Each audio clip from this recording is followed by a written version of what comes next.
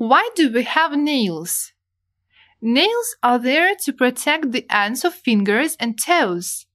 They help us to pick up small things. You know, some of my classmates still bite their nails. Some people have this bad habit. They might do it when they are worried about something.